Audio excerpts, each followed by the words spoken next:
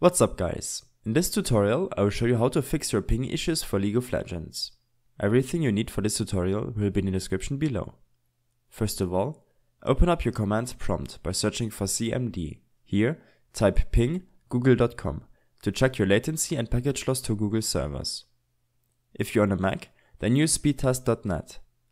Next, open up your task manager and head to the resource monitor, as you can see in the video. On this new window, Navigate to the Network tab, and on this first section, end all of the processes that you don't need and know won't screw you up. For example, your browser running in the background or Steam and Discord.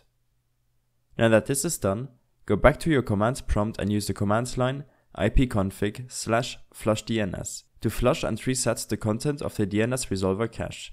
This should be the most effective way to improve your latency.